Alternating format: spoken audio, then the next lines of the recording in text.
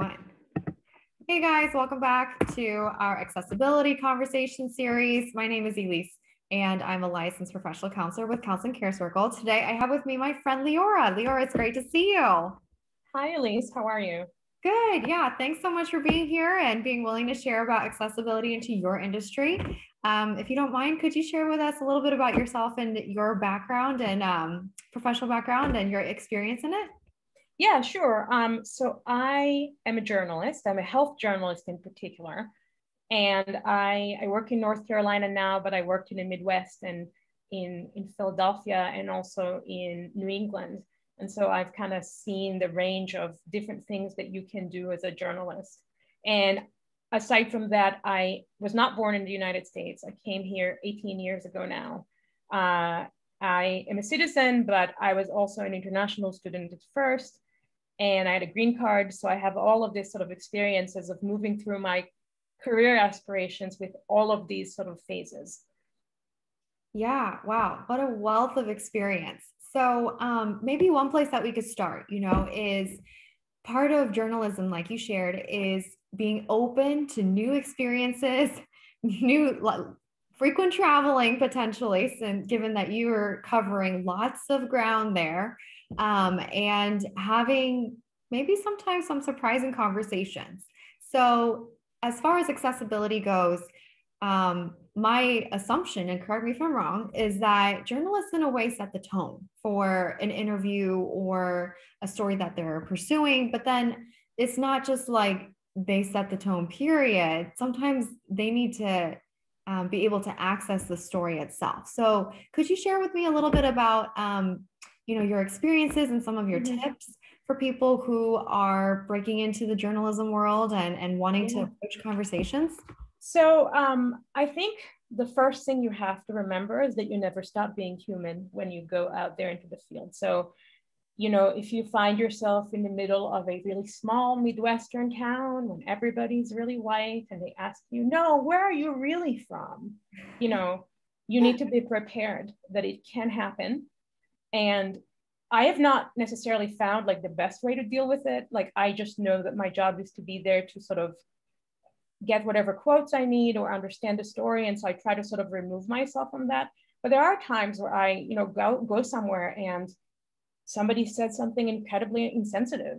And I mm. just like don't, you know, it's not our job to sort of correct people, but also you kind of have to give yourself like the right to feel uncomfortable or to figure out how within the bounds of what's happening you can sort of speak up for yourself mm. and yes journalists get to set the tone like i get to choose what stories i want to write but then it also depends on what what my, what, what my editor wants uh, mm. what the news of the day is mm. like you know it's been coronavirus all the time for us health journalists and basically almost every journalist in this country and right. but you and you get to choose like oh how do i want to talk about it what do i want to write that would be helpful Mm. Um, and then the other thing that you get to choose is who you talk to. Um, like I have made it a point to make sure that I reach as many different people as possible. So, you know, are my experts all white? I'm going to try not to. I'm going to try to find somebody from some other place and somebody who's maybe a person of color or, you know, because I just feel like it just helps the story. It helps the story and it helps you as a person. And so what ends up happening usually is when you talk to people who are different than you, you know, there's always going to be a situation where like maybe there's a misunderstanding, or maybe you're just like, you know, there are things you didn't know or didn't, didn't expect. And the thing that you need to do is kind of a be open to it, like you said, at least, but also just kind of like make sure that you see the person first for as a person and not necessarily as a source. You mm-hmm. know, they're not just like a source for quotes, they're a person and they have their whole experience. And also you're a person. And so if you can bring yourself into it and be like, okay, you know, I'm writing, you know, today about back pain and I've experienced back pain. Like maybe that's a point that I can say like to to a source, hey, like I've had that happen to me before. Mm. And now we feel connected or maybe more connected, just a little bit more connected than we were before. I will also say that if you're a journalist, like typically, particularly in, in, in print, you will end up, often your first job is going to be in a very small outlet. Sometimes those outlets are out there in the world in the Midwest, or you know, it's typically in the Midwest, and it can be really tough if you're if you're not of the majority culture. Like it can be incredibly difficult to end up if you grew up in a city or something like that to end up in a very small town where people just view you as you know some other um, and so you know mm. i don't know if like the best way is to just avoid these jobs and try to go for a job in a city. Uh, i didn't but i will say that my first my year in iowa was very very difficult. And so and i didn't stay there long for that reason. And so i just i don't have an answer for that but i want anybody who's going into their first job if they're considering something in the midwest to think about that part because that can be really difficult. You're in a new place and then you're also very different and people don't know how to talk to you and then you have to figure out how to sort of educate them and it can be quite draining. So yeah. Yeah, so I'm really appreciative that you're bringing that human aspect to your work and that you're very intentional to do so that that really resonates um, even though i don't work in journalism and i'm sure it would for others who do that the person really matters. Um, so i'm curious in your experiences and also those of your friends who are also in the fields um, have you found that there's um, support at work are there mentors or are there networks, organizations that you could reach out to to process your um, experiences as a mm-hmm. journalist or even like a journalist in training? Um, are there safe spaces? Yeah, there are. I mean, you have to look for them a little more. Uh, I don't know if you know this about journalism, but it's been in crisis for a while now. And that means, you know, the newsrooms are smaller than they used to be. Hmm. Um, people are doing a lot more than they used to be. And, you know, you're required to do like social media and take photos. And there's just a lot that's going on that, you know, maybe a journalist that was, you know, working 20 years ago would not have had to do. Um, although I don't know, 20 years ago was the year 2000. So uh, anyways, um, and so you kind of have to go out and, and seek it out. And so either you have somebody in your newsroom who's like, maybe a reporter who's at the same level as you that you mm-hmm. can commiserate and say like man this thing this assignment really sucked like mm-hmm. that's one level and yeah. then maybe you know if you are a person of color but you're in a very white newsroom then you you need to find another layer of support and so it could be um, there are professional associations um, the um, asian american journalists association is one that i know of mm-hmm. specifically for the folks we're talking about. Um, and they offer mentorship and support and they give tips. And, you know, it doesn't matter like who you are, things are going to hit you differently. And so mm-hmm. you might find, like, for example, in the world of coronavirus, you might find that somehow it affects you more. Um, and so you want to talk to folks who know how you feel and and who can sort of like give you that feeling of like you know oh okay we are we are on the same page. And so that's another one. Facebook can be a really fantastic source of support. Um, there's a group that i'm part of. It's a facebook group called Riotrrs of Journalism. It's like we're going to include include in the description below right Ellice? Um, and so and it's it's a group for women but it's also a group for journalists of color and trans people and non-binary people and it's really like kind of a, a group where you can it's kind of part emotional support part like professional support. Like people come there and ask questions about you know how can i get my resume better? Or you know posting a job or something like that. And they also come to talk about like oh you know i have to cover a protest and i'm really scared. Or i i don't you know i don't know how to do it right. And so you know and when you see all of these things, you think like, okay, everybody's uncomfortable mm. and we're all just trying to figure it out. And maybe that, that helps a little bit, you know? Mm-hmm. Mm-hmm. Yeah, yeah. I think that's really great. It sounds like there's some official sources of support mm-hmm. and there's also some non-official grassroots people just coming together because they know that, hey, if I need it, maybe someone else needs the support too in the mm-hmm. industry.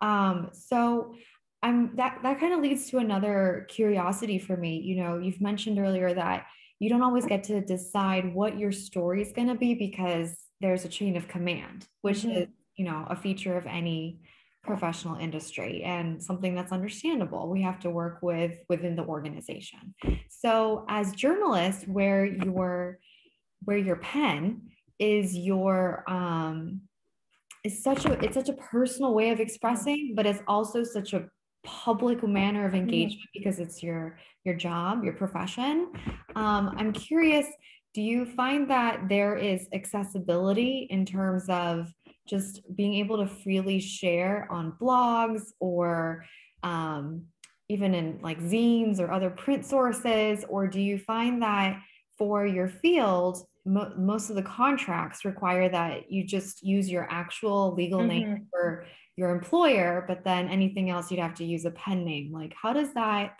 in terms um, of free expression? So that varies from newsroom to newsroom, right? It depends. Like, if you work in a corporate newsroom, maybe they'll have like a policy for social media, and they'll tell you what you should and shouldn't say. Like, you can't, you can't just like talk about politics and give political opinions and that kind of stuff. Like, you want to try to sort of appear as unbiased as, as possible and you know journalists in some of these big newsrooms and like the new york times and washington post have gotten in trouble because like they've maybe said something that angered people or showed that they are a little bit more biased. And mm-hmm. you know it can be really serious in journalism. And so i would say sort of if you don't know what the social media policy is to ask and and then sort of you start with that um, and then for anything else like if you want to do something outside of your newsroom you can do like there are lots of folks who do podcasts or you know blogs or whatever it is.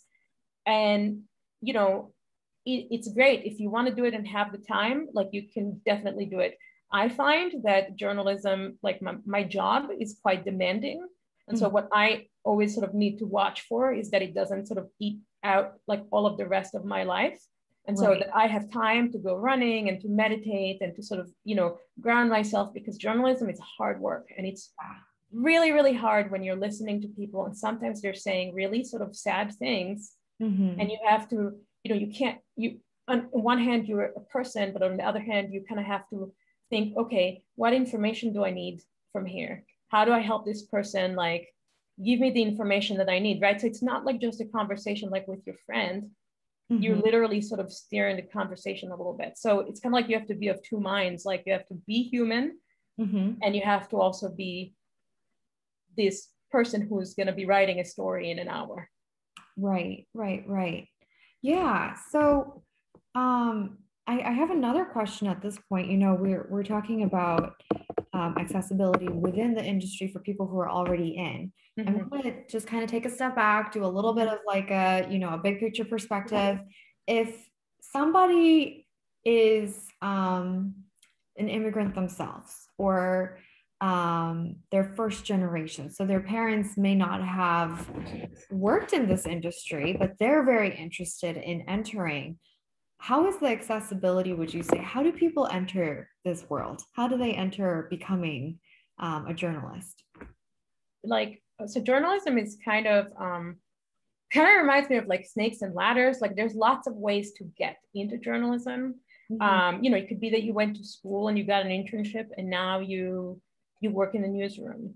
It can mm-hmm. be that you fell into it. Like you were a freelancer and then you you know you you found a job that you really enjoy in some newsroom and you work there. Like there's lots of ways to do it. But i will say as a sort of caveat is that the journalism world by and large is quite white. And it you know it lacks the diversity that we need. And we need people who have different experiences. If you're an immigrant you think about things differently. Like i can't tell you how many times i've been able to sort of say okay you know we need to think about this when we talk to immigrants because I've been there. Mm-hmm. Or, you know, somebody asks, like, you know, there's an assignment about writing about like a, a holiday that's not of the majority. And I know that when I approach it, it's not going to be just kind of like, oh, well, explain to me how this is the same as Christmas, or, you know, like kind of like knowing that Christianity is not the starting point And so, you know, those kind of things, you know, that's really sort of helpful for you to have the, the experience, but it does not mean that in your all white newsroom or your mostly white newsroom, you're not going to experience people asking really, really stupid things or just making you feel uncomfortable. Mm-hmm. And it really depends on how you feel. Like I, I can never tell anyone how to sort of navigate the, the fact that they're you know people don't tell you that they don't like you but they do definitely like they might say something that just offends you and you can figure out how to deal with it. Like i sometimes let things go because i know that it's important for me to you know care for myself and sometimes caring for myself means backing just like not not talking about it because i know that it's just going to be more upsetting and sometimes it means raising it and saying, like, hey, what you said, like, it really bothered me. And let me explain to you why it bothered me. Yeah. Um, and so when you enter the journalism world, you kind of have to be prepared for that. And it's a really sad fact. We are like, I know that I'm from the inside, sort of trying to change it as much as possible. But, you know, there's probably not going to be helping like your first job if you end up in like a Midwestern like outlet you might be surrounded by a bunch of white people who don't understand anything about you. And you you are going to have to kind of work to build some kind of bridge with them and also protect yourself. Yeah yeah that makes a lot of sense. Um, so you know that kind of what, what you just shared makes me think of another thing also from kind of a bigger picture perspective is that you know each each professional industry has a protocol and a way mm-hmm. of doing things. And sometimes the way of doing things reflects a certain dominant culture, right? Mm-hmm. So sometimes it's as cut and dry, so to speak, as just being governed by laws and mm-hmm. codes. Mm-hmm. So therefore it's a policy. But then the way that it's actually processed could feel a little bit cultural. Mm-hmm. So um, my next question has to do with increasing effective communication. Mm-hmm. Because sometimes we have internationals come to the United States who have a wonderful reputation of being a mm-hmm. journalist mm-hmm. or anything, you know, mm-hmm. in their home country, then they continue the work here, but then they're surprised by sometimes, you know, just kind of different things that people do. So um, I'm curious whether it's, you know, just certain like perspectives in the form of policy that you've seen that you're like oh that that's kind of that's kind of american and that's unique and mm-hmm. it's like an american thing and and other things that are just more about the way that collaboration and teamwork happens in an american journalist you know journalism world. Um, anything that you've noticed that you'd be well, able to share about? it quite depends on the newsroom right? If you're in a small newsroom things are going to be more fluid. Uh, you know there might not be policies. You're just kind of going to have to watch people around you and see how they behave so that you can sort of learn or ask somebody that you trust and say, hey, how do I go about whatever it is? Um, and, you know, while it does sound kind of strange, you, after your first few years as a journalist, you'll learn that it's okay to be uncomfortable. Like you can be uncomfortable and it is fine. Like you're not going to, you know, you're not going to die of embarrassment. Mm-hmm. You can mm-hmm. just like be like, hey, that was a really stupid question that I asked right now. Can I ask another question? You know, and people respond to that. And right. so that's definitely something that I I think about a lot as a you know as a journalist. Mm-hmm. Yeah, thank you. So it sounds like a lot of it is observation and using your journalism skills as a journalist to observe, to interact, to kind of read the room um, helps professionally too. And if you get it wrong, like then you can say, I'm sorry, I got it wrong. Sometimes mm-hmm. it leads to some really funny conversations. Like, you know, I, I, you know, I don't, you know, necessarily believe in making myself uh maybe less than to be professional or whatever. Mm-hmm. And sometimes I'm just like, you know, I'll ask my my colleagues and I'll be like, hey, what's the deal with Christmas? Like, can you explain to me this whole Santa thing? And it can like actually lead to some really funny and actually useful conversations. Mm-hmm. Um, one time I was in a newsroom in uh, New Hampshire, mm-hmm. and we were talking about how upset I was that uh, all you know the hummus aisle has you know sriracha hummus, it really upset me because it feels like somebody just like randomly blended two foods together without sort of considering the culture that sriracha came from and the culture that hummus came from. Mm-hmm. And it mm-hmm. just felt wrong to me. Right. And I was ranting about it to a colleague, and he's like, Why don't you write a column about it? Mm-hmm. And I'm mm-hmm. like, Okay. So I pitched it to my editor, and she's like, Yes, this is great. And I ended up writing this column, and people really reacted to it. Like, they really, because I was in a small town, and knew who I was. And so they like asked me questions about it, and they wanted to know what the best recipe for hummus was. And it kind of felt like building a bridge, you know, mm-hmm. even though it's like, okay, you know, oh, hummus, what's the big deal? but it is like our peanut butter right you know you must you know you must respect the peanut butter right so right that's a great example i love that little anecdote yeah that's really fun so um i think you know for my for my last question um or maybe it's my second to last question just giving a disclaimer because sometimes i come up with new ones while people are talking um so at this point, I'm curious, what would you say are some issues that may be faced uniquely by AAPI in your industry that are not shared by other minority or majority groups? Mm-hmm. Um,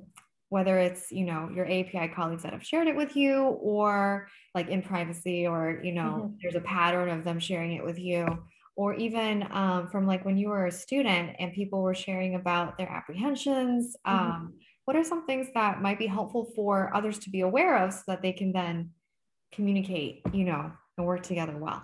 So the way that sort of I gather is that racism and bigotry has different flavors depending on who you are. Mm. So, you know, I my parents are Latinos, I'm Israeli, but I look white. And so until I speak and you hear my accent, mm-hmm. you don't know that I'm not from here. Right. And so, you know, what I might experience and what somebody who looks Black or Asian experiences, you know, those are sort of two different things. But the sort of theme that I've noticed is these kind of small, um, these things that you really can't like put your finger on, but you just feel uncomfortable. Mm-hmm. Like, you know, somebody who asks you persistently, where are you from? No, no, where are you from really? You know, that's a sort of red uh, flag.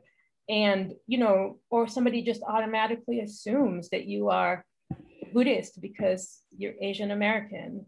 Right. Or, you know, saying something about like latching on to just like the one food, like talking about like dim sum or or sriracha or kimchi or whatever it is and be like, man, I love it. I love this food. And this is the only food I know about from your culture. and it can feel a little like I've been on the receiving end of that and it can feel a little like, I don't know, something. I don't, kind of you feel uncomfortable. Yeah. And so I would just say that uh, from what I have experienced and what I have seen, particularly when it comes to uh, uh, bigotry against Asian Americans, it tends to be a little bit more under the surface.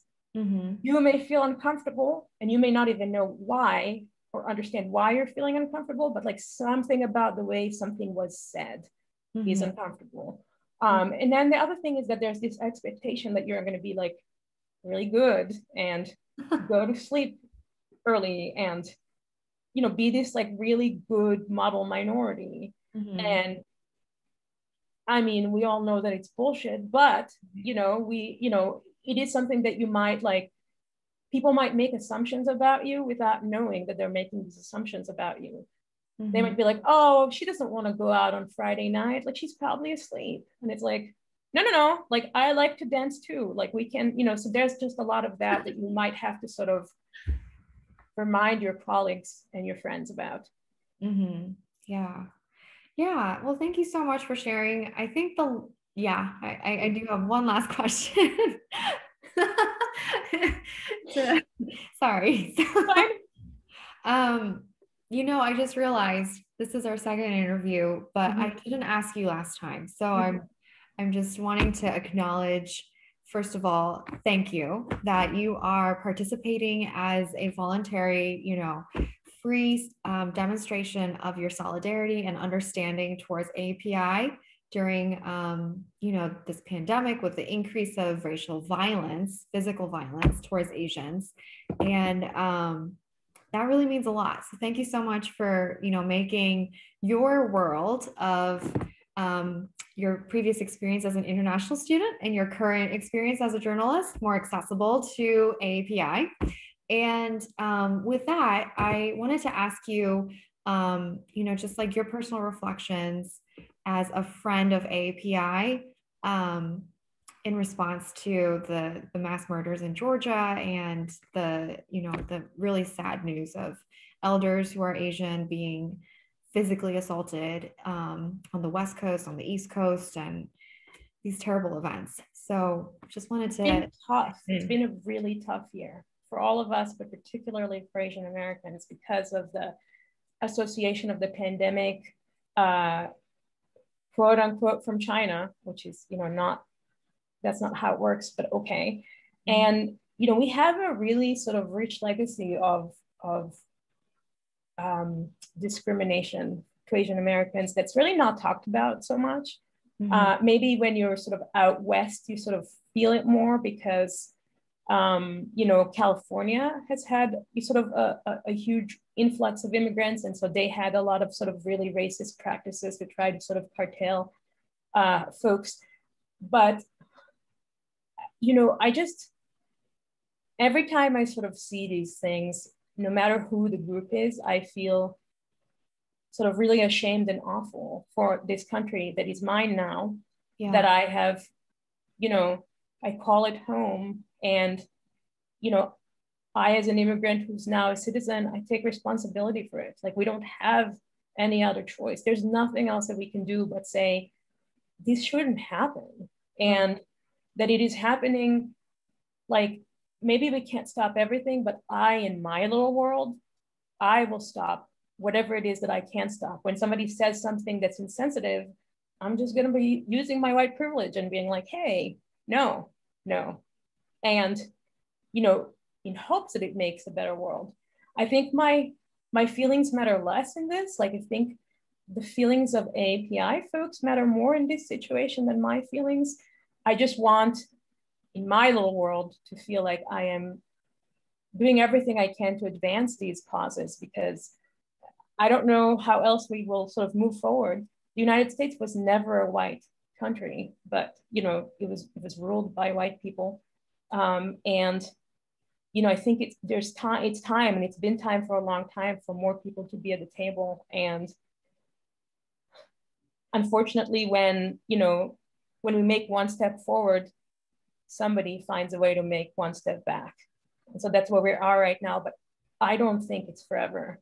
I think we're gonna figure this out. I think my generation and the younger generation, like we are sort of moving forward towards sort of being more understanding. And maybe that doesn't help a lot of people like right now, right this moment, but like a lot of us are thinking about it and a lot of us are trying different things. And so, you know, all of us try different things. Hopefully, hopefully we can kind of beat this thing.